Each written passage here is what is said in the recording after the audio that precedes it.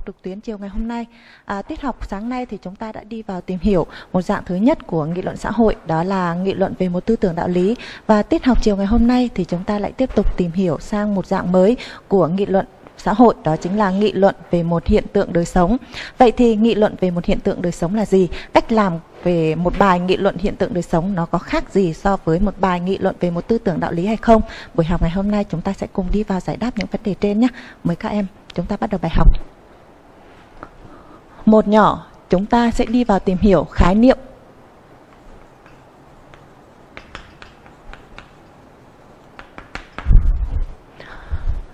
Dạng này là nghị luận về một hiện tượng đời sống và cô đã nói với các em rất là nhiều lần đó là nghị luận là chúng ta đi trình bày quan điểm, cách đánh giá và suy nghĩ của bản thân về một vấn đề nào đó và vấn đề ngày hôm nay đó chính là một hiện tượng đời sống. Vậy thì hiện tượng đời sống có nghĩa là gì? Chúng ta sẽ đi vào à, giải đáp cái cụm từ này nhé. Hiện tượng đời sống.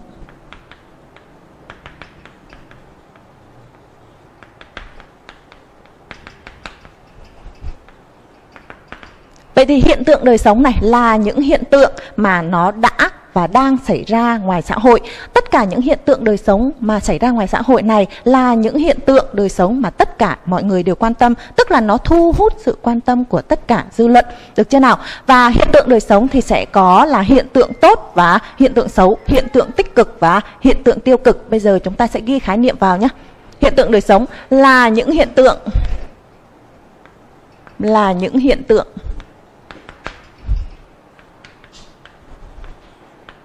đã và đang xảy ra.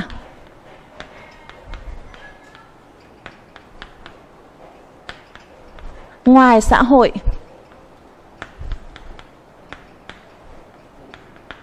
được mọi người quan tâm,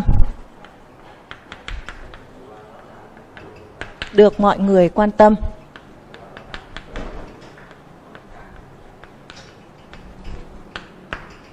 Các con chú ý cho cô nhé, hiện tượng xã hội nó bao gồm tất cả những hiện tượng đã xảy ra hoặc là đang xảy ra ngoài xã hội mà tất cả những hiện tượng đó đều được dư luận quan tâm, đều được đông đảo mọi người cùng cùng quan tâm. Cô lấy ví dụ này.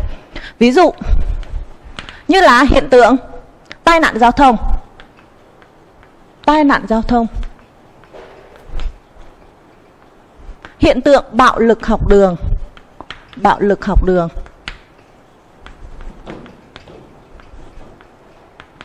Hiện tượng nghiện game. Nghiện game. Hoặc là hiện tượng chen lấn xô đẩy khi xếp hàng. Chen lấn này. Xô đẩy Khi xếp hàng. Ngoài ra thì có những cái hiện tượng nữa, Những cái phong trào như là phong trào hiến máu nhân đạo này. Phong trào hiến máu nhân đạo hiến máu. Đây là tất cả những cái hiện tượng mà cô chỉ kể đến uh, trong cái bài học ngày hôm nay thôi là những hiện tượng mà nó đã và đang xảy ra ngoài xã hội được dư luận quan tâm. Vậy thì nhìn vào đây chúng ta có thể dễ dàng phát hiện đó là gì ạ? Hiện tượng thì nó sẽ bao gồm hiện tượng tốt và hiện tượng xấu, hiện tượng tích cực hoặc là hiện tượng tiêu cực. Ví dụ như là hiện tượng tai nạn giao thông này, bạo lực học đường, hiện tượng nghiện game hay là hiện tượng chen lấn xô đẩy khi xếp hàng hay còn nói cách khác đó là văn hóa xếp hàng. Thì đây là những hiện tượng mang tính chất là tiêu cực. Đây là những hiện tượng mang tính chất là tiêu cực này. Còn ví dụ như là hiện tượng đây cái phong trào hiến máu hoặc là cái phong trào tiếp sức mùa thi thì nó lại là những hiện tượng tốt đẹp nó là hiện tượng tích cực ngoài xã hội được chưa nào? Đây là những cái đây là cái khái niệm đầu tiên mà chúng ta cần phải hình thành khi tiếp cận một đề nghị luận về một hiện tượng xã hội được chưa? À, bây giờ vậy thì đối với một đề hiện tượng đời sống như thế này thì họ có cách ra đề như thế nào thì chúng ta sẽ nhìn lên bảng và cho quan sát cho cô này có hai cách ra đề thường gặp nhất đối với một đề nghị luận về một hiện tượng đời sống. Có hai cách ra đề này. Hai kiểu, hai kiểu ra đề nhé. Hai kiểu ra đề. Kiểu ra đề đầu tiên đó chính là người ta sẽ gọi thẳng trực tiếp hiện tượng đó cho các bạn và yêu cầu các bạn là hãy trình bày quan điểm và trình bày cái gì ạ? À? Trình bày suy nghĩ và cách đánh giá của mình về hiện tượng đó. Đầu tiên đó là gọi trực tiếp hiện tượng và yêu cầu chúng ta bàn luận.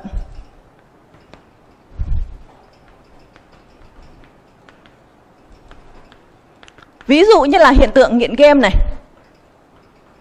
Nghiện game. Hay là hiện tượng nghiện thuốc lá thì người ta sẽ họ có cách hỏi các bạn là gì ạ? Đó là em hãy trình bày suy nghĩ của mình về hiện tượng nghiện game của giới trẻ giới trẻ, hoặc là em hãy trình bày quan điểm của mình về hiện tượng bạo lực học đường hay là em hãy trình bày suy nghĩ và quan điểm của mình về hiện tượng tai nạn giao thông ở Việt Nam ngày nay. Được chưa? Đó là cái dạng đề thứ nhất.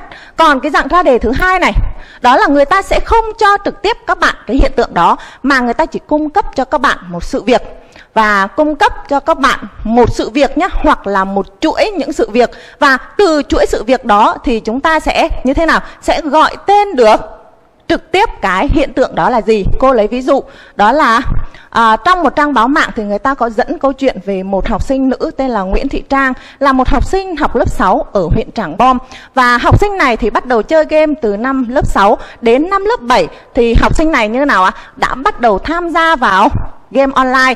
Và từ khi mà học sinh này tham gia vào trò game trực tuyến thì Trang bắt đầu bỏ học và điểm số bắt đầu xa sút bắt đầu nói dối bố mẹ để đến các tiệm net. Sự việc trở nên trầm trọng khi mà gia đình của Trang đã à, phát hiện ra rằng học sinh này lấy trộm tiền của cha mẹ, thường xuyên ra ngoài không xin phép. Sức khỏe của Trang thì được gia đình xác nhận đó là rơi vào trạng thái suy nhược do thiếu ngủ trầm trọng. Vậy thì em hãy trình bày suy nghĩ của mình về hiện tượng trên. Vậy rõ ràng là người ta sẽ không cho các bạn hiện tượng sẵn, mà người ta chỉ cung cấp cho các bạn một chuỗi các sự việc. Thông qua chuỗi các sự việc này, các bạn phải biết được là sự việc đó nó hướng đến cái hiện tượng nào. Từ đó chúng ta sẽ phải có cách đánh giá và trình bày quan điểm của mình về hiện tượng đó, được chưa đó là chỉ cho sự việc, chỉ cho sự việc hoặc một chuỗi các sự việc. Hoặc một chuỗi các sự việc. Và họ yêu cầu này chúng ta gọi tên hiện tượng. Gọi tên hiện tượng. Và bàn luận về vấn đề.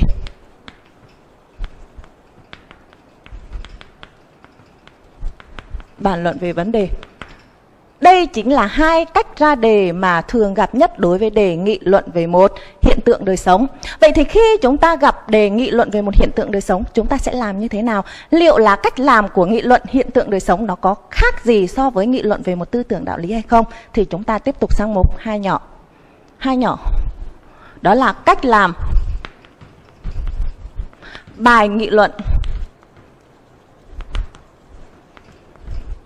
về hiện tượng đời sống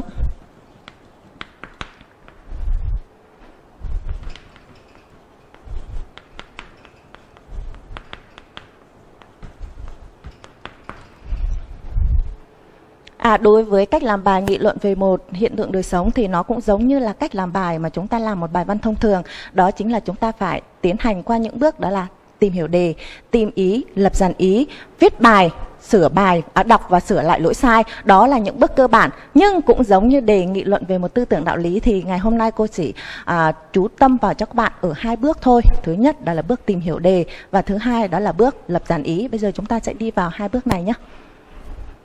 Bước đầu tiên đó là tìm hiểu đề.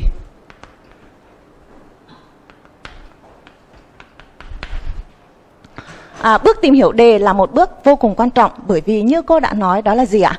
Bước tìm hiểu đề sẽ giúp chúng ta xác định được vấn đề mà chúng ta cần nghị luận đó là vấn đề nào. Vậy thì khi mà gặp đề nghị luận về một tư tưởng đạo lý này thì chúng ta phải xác định ngay cho cô đó là vấn đề đó là vấn đề tích cực hay là tiêu cực và nó có ảnh hưởng như thế nào đối với cuộc sống của chúng ta thì chúng ta phải xác định ngay từ đầu. Việc xác định này sẽ giúp cho các con có cái hướng làm bài tránh việc là chúng ta đi quá lan man hay là chúng ta đi lạc đề và sai đề được chưa nào? Tìm hiểu đề, đó là xác định được vấn đề cần nghị luận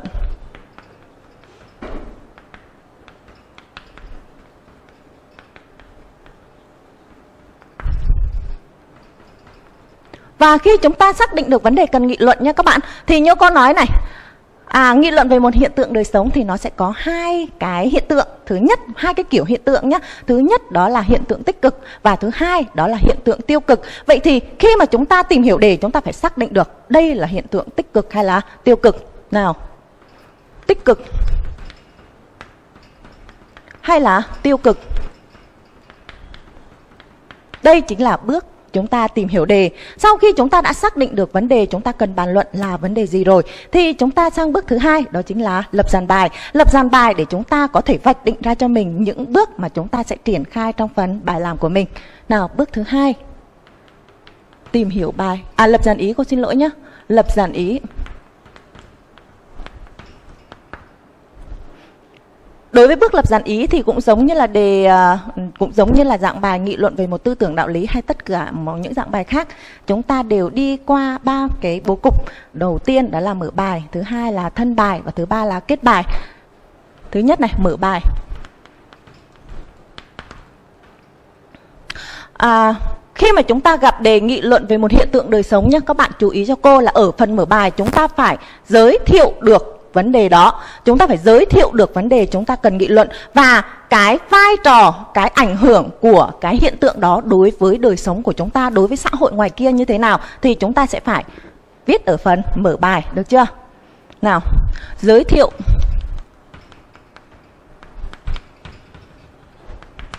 Vấn đề cần nghị luận.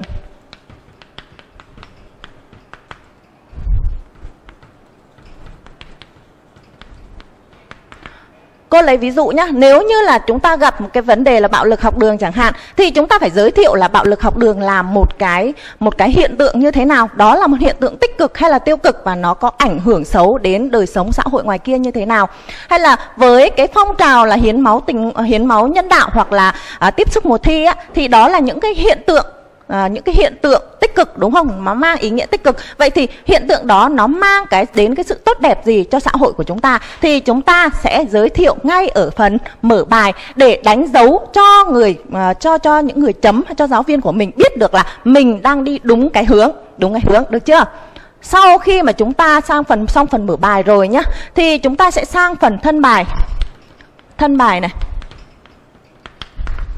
ở phần thân bài này thì nó sẽ có một chút khác so với đề nghị luận về một tư tưởng đạo lý. Tức là khi mà nghị luận về một tư tưởng đạo lý chúng ta sẽ qua những cái bước như là gì các bạn? Đó là giải thích này, bước à, bàn luận và mở rộng vấn đề. Còn khi mà chúng ta sang cái phần là nghị luận về một hiện tượng đời sống thì chúng ta ngoài bước giải thích chúng ta phải nêu được thực trạng của vấn đề, chúng ta phải nêu được hậu quả hay là kết quả của vấn đề, nguyên nhân của vấn đề và cuối cùng là tìm ra giải pháp khắc phục hoặc là phát huy của của vấn đề. Được chưa? Bây giờ chúng ta sẽ sang bước đầu tiên.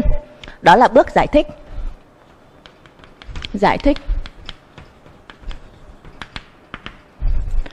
Bất cứ một vấn đề nào chúng ta cũng phải giải thích cả. Giải thích là để cho người đọc, người nghe, người ta hiểu được vấn đề là gì. Và người ta biết được rằng mình đang đi nói về vấn đề nào. Được chưa? Đó là bước giải thích. Vậy thì chúng ta giải thích. Giải thích cái gì nhỉ? Chúng ta sẽ giải thích về từ giải thích cụm từ. Hoặc là nếu như trong đề có những khái niệm thì chúng ta sẽ giải thích khái niệm. Ví dụ như là khái niệm là à, bạo lực học đường là gì này tai nạn giao thông là gì thì chúng ta phải giải thích khái niệm. Được chưa? Rồi chúng ta sẽ giải thích được những cái hình ảnh những cái ẩn ý những cái hàm ý ở trong đó để chúng ta làm gì đây? Chúng ta hiểu được vấn đề mà chúng ta sẽ bàn luận là gì. Được chưa nào? Giải thích đây là giải thích từ này. Hoặc là giải thích khái niệm. Khái niệm hoặc là cụm từ vế câu, vân vân sau khi mà chúng ta giải thích vấn đề rồi thì chúng ta phải nêu được biểu hiện của vấn đề biểu hiện biểu hiện của vấn đề Vậy thì khi chúng ta đã biết được là giải thích vấn đề đó là gì rồi thì biểu hiện của vấn đề đó ra sao? Cô lấy ví dụ này. Ví dụ như là đề ra cho các bạn là em hãy trình bày suy nghĩ và quan điểm của mình về hiện tượng bạo lực học đường hiện nay thì chúng ta phải biết được là bạo lực học đường là gì đã. Được chưa? Sau khi chúng ta giải thích bạo lực học đường là gì rồi thì chúng ta sẽ tiến hành đi vào nêu biểu hiện của bạo lực học đường. Đó là bạo lực học đường biểu hiện dưới, uh, dưới rất nhiều hình thức. Bạo lực học đường không chỉ là chúng ta bị tra tấn, bị đánh đập một cách dã man về thể xác mà chúng ta đôi khi phải hứng chịu những cái sự mạt sát, những sự xúc phạm, những sự sỉ nhục, miệt thị về về tinh thần. Đó chính là những biểu hiện ở trong cái phần thân bài này, được chưa? Thứ hai, sau khi chúng ta giải thích và nêu biểu hiện rồi, thì chúng ta phải đến cái bước tiếp theo, đó là cô xóa bảng ghi bên này nhé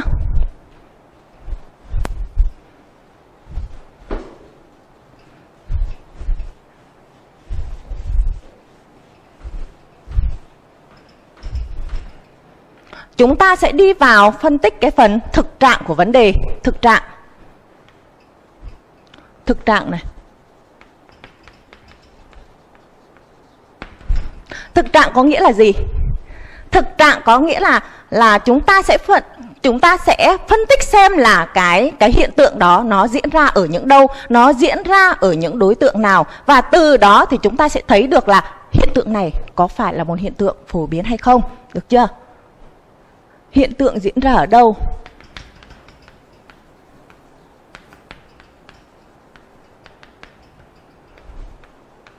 Ở đâu? Và thứ hai đó là với những đối tượng nào?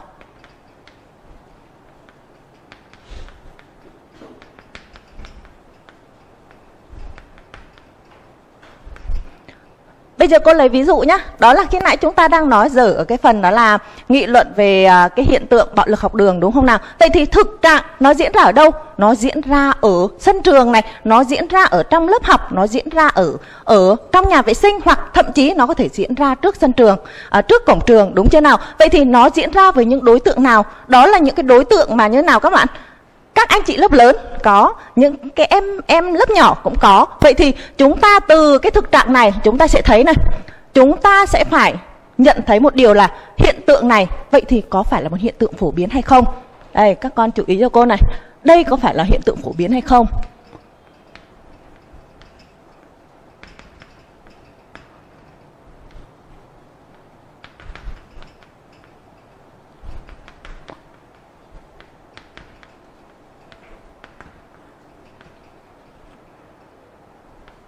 Đây có phải là một hiện tượng phổ biến hay không À, và chúng ta có thể tự nhận thức được một điều là gì ạ? Đối với những đề mà có trong đề thi Trung học phổ thông quốc gia, với những hiện tượng xuất hiện trong đề thi Trung học phổ thông quốc gia thì chắc chắn đó là những hiện tượng mà được nhiều người quan tâm, được nhiều người chú ý, thậm chí đó có thể là những hiện tượng mà gây bức xúc, gây nhức nhối trong dư luận. Vậy thì chắc chắn đó là những hiện tượng phổ biến rồi, đúng không nào? Tiếp theo chúng ta sẽ nêu về cái phần là gì? Sau phần thực trạng thì sẽ đến phần hậu quả hoặc là kết quả. Đây. Kết quả hoặc là hậu quả. Các con chú ý phần này một tí nhé. Bởi vì cô nói là hiện tượng xã hội thì nó bao gồm cả những hiện tượng tốt và hiện tượng xấu. Nó mang tính tích cực và lại mang cả tính tiêu cực. Có thể có những hiện tượng thì rất tốt, nhưng có thể có những hiện tượng thì rất là xấu. Vậy thì nếu như đó là hiện tượng tốt, các con chú ý nhé. Ví dụ như là cái phong trào hiến máu tình nguyện hoặc là tiếp sức mùa thi lúc nãy cô nói. Thì chúng ta ở cái phần này, sau khi nêu được thực trạng rồi thì chúng ta sẽ nói đó là gì? Kết quả và ý nghĩa tốt đẹp mà hiện tượng này mang lại cho xã hội là gì? Được chưa? Các con chú ý nhé. Cái kết quả này này là của những cái hiện tượng tốt hiện tượng tốt hiện tượng tốt còn cái hậu quả này hậu quả này thì nó là những cái hậu quả của những hiện tượng xấu mang lại. Đây là hiện tượng xấu. Hiện tượng xấu.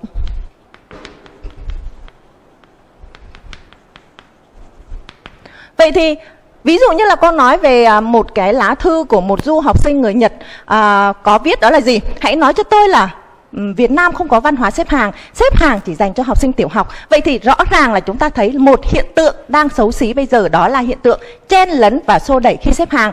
Vậy thì cái hậu quả của nó là gì các bạn? Hậu quả của nó là gì? Một đây là một hiện tượng xấu thì hậu quả của nó nó sẽ làm hình ảnh của người Việt Nam xấu xí trong mắt của bạn, à của bạn bè quốc tế đúng không nào? Vậy thì từ cái hậu quả này này, từ cái hiện tượng xấu từ hậu quả này, chúng ta sẽ phân tích về nguyên nhân dẫn đến hậu quả này, được chưa? Chúng ta sẽ phân tích này. Đó là phân tích nguyên nhân. Phân tích nguyên nhân. Khi gặp một hiện tượng xấu nhất chúng ta sẽ phân tích nguyên nhân. Tại vì sao nó lại có cái hậu quả này? Nó từ nguyên nhân nào mà có? Thì nguyên nhân có hai có hai cái khía cạnh chúng ta cần phải nhìn. Thứ nhất, đó là nguyên nhân chủ quan. Và thứ hai, đó là nguyên nhân khách quan. Đấy nguyên nhân chủ quan và nguyên nhân khách quan. Vậy thì để hiểu nguyên nhân chủ quan là gì thì chúng ta phải hiểu này. Chủ quan có nghĩa là gì và khách quan có nghĩa là gì? Chủ quan có nghĩa là tất cả những gì do ý thức của con người mà ra. Ví dụ đó có thể là những nguyên nhân nó mà xuất phát từ việc mà chúng ta suy nghĩ, chúng ta mong muốn như vậy, cho nên chúng ta làm như thế. Được chưa? Đây là những cái mà liên quan đến ý thức của bản thân, đến suy nghĩ và mong muốn của bản thân. Tuy nhiên, nguyên nhân khách quan là những cái diễn ra ngoài sự mong muốn của bản thân. Cô lấy ví dụ nhé à, ví dụ như là à, cô vừa nói đến cái văn hóa xếp hàng xấu xí đúng không? Thì à, nguyên nhân chủ quan của cái cái cái việc là chen lấn xô đẩy đó là gì các bạn? Đó có thể là những cái thói quen đã hình thành từ rất lâu rồi. Nó là một cái thói quen khó bỏ của chúng ta. Khi nào đi đến đâu chúng ta cũng cũng theo một cái thói quen đó là chúng ta phải chen lấn phải phải phải xô đẩy để có được một cái vị trí mà mình mình muốn đứng ở đó. Được chưa? Thứ hai này cái nguyên nhân chủ quan nó còn diễn ra là bởi vì sao các bạn? Bởi vì là cái sự uh, gọi là nhỏ nhen ích kỷ của mỗi con người khi mà chúng ta muốn được đạt được cái lợi ích cá nhân một cách nhanh nhất ví dụ như là khi mà người ta ra mắt một cái sản phẩm nào đấy đúng không? Người ta tổ chức một cái buổi ra mắt nào đó và ai cũng muốn là mình là người đầu tiên sở hữu cái sản phẩm đó. Cho nên là thay vì việc chúng ta sẽ xếp hàng theo kiểu là ai đến trước thì đứng trước, người đến sau thì đứng đứng sau. Thì chúng ta lại xen, chen lấn, chúng ta lại xô đẩy để chúng ta đạt được cái mong muốn của chúng ta một cách nhanh nhất, một cách sớm nhất mà chúng ta không để ý đến quyền lợi và mong muốn của của người khác. Đó chính là nguyên nhân chủ quan. Được chưa? Nguyên nhân chủ quan nhắc lại cho các bạn nhé. Đó là những nguyên nhân xuất phát từ suy nghĩ, từ mong muốn, từ ý thức của bản thân mình. Được chưa nào? Vậy thì còn Nguyên nhân thứ hai đó là nguyên nhân khách quan là những cái xảy ra ngoài sự mong muốn của bản thân. Vậy thì cái việc chen lấn xô đẩy đó nó cũng có những nguyên nhân khách quan. Đó là khi mà chúng ta đến một cái địa điểm nào đấy mà nơi đó tất cả mọi người đều chen lấn và xô đẩy, chúng ta hoàn toàn không có một cái vị trí nào để xếp hàng cả. Ví dụ như là khi chúng ta đến trung tâm thương mại nhận một cái à, có một cái chương trình khuyến mãi nào đấy thì thay vì việc chúng ta xếp hàng thì khi mà chúng ta đến mọi người đã như thế nào đã chen lấn xô đẩy chúng ta có muốn xếp hàng cũng không thể nào được. Cho nên, chúng ta cứ như thế và cũng chen lấn vào đám đông. Tức là chúng ta đang bị hiệu ứng đám đông. Được chưa nào? Hiệu ứng đám đông. Thứ hai, đó là khi chúng ta đến một cái địa điểm nào đấy mà ở nơi đó không có những quy định chặt chẽ về việc xếp hàng và cũng không có những quy định nào về việc là nếu như anh không xếp hàng thì anh sẽ bị phạt như thế nào. Vậy thì rõ ràng là từ nguyên nhân chúng ta sẽ phải chia thành nhiều. Nhiều mặt, thứ nhất đó là chủ quan và thứ hai đó là đó là khách quan. Từ những nguyên nhân này thì chúng ta sẽ đi đến phần giải pháp khắc phục hoặc là hướng phát huy. Các bạn, cô xóa bên này nhé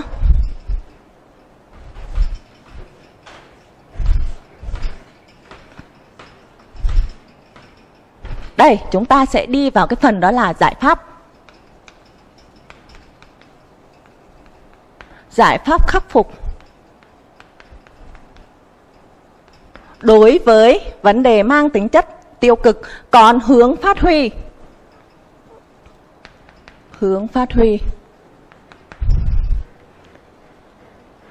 hướng phát huy nếu đó là một vấn đề một hiện tượng mà nó có cái tính chất đó là gì tích cực nó mang một cái một cái ý nghĩa một cái thông điệp tốt đẹp đối với xã hội vậy thì chúng ta sẽ thấy này Tại sao chúng ta lại phải khắc phục? Bởi vì đơn giản thôi, đó là một hiện tượng xấu, chúng ta cần phải loại trừ nó, đúng không? Còn nếu như đó là một hiện một hiện tượng tốt đẹp thì chúng ta cần phải phát huy, cần phải nhân rộng nó, cần phải phải phải lan tỏa những cái đẹp đó ra ngoài xã hội thì xã hội của chúng ta mới có thể tốt đẹp được. Đó chính là cái bước cái bước uh, giải pháp khắc phục và hướng phát huy. Được chưa nào? Sau khi chúng ta đã phân tích, bàn luận hết tất cả những cái này rồi, chúng ta sẽ thấy được là hiện tượng mà chúng ta đang bàn luận, nó đúng ở đâu, nó sai chỗ nào, nó tích cực hay là tiêu cực, thì cuối cùng chúng ta sẽ rút ra bài học nhận thức. Nào, bài học nhận thức. Bài học này thì có bài học về nhận thức. Bài học về gì? Bài học về hành động.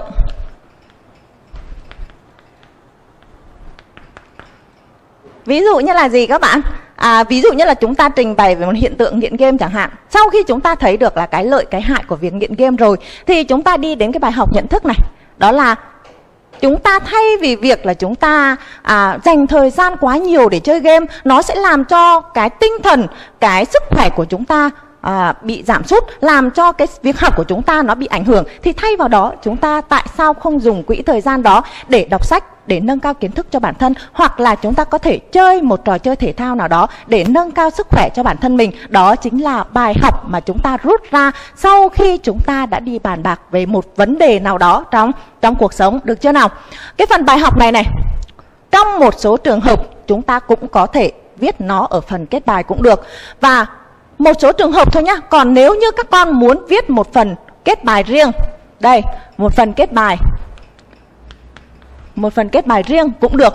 Thật ra là phần kết bài cũng là cái phần mà chúng ta đánh giá chung về đánh giá chung về cái hiện tượng đó. Và cái hiện tượng đó nó có cái vai trò như thế nào đối với bản thân mình và đối với xã hội. Và những cái bài học thấm thía mà chúng ta có thể rút ra được từ cái phần mà chúng ta chúng ta bàn bạc, chúng ta đánh giá, chúng ta trình bày cái suy nghĩ và quan điểm của bản thân.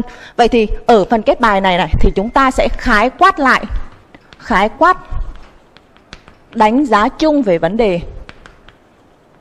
Đánh giá chung về vấn đề.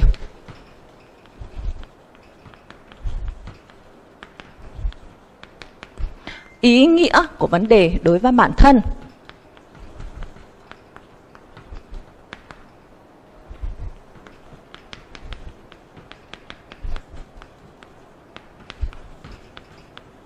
Và xã hội.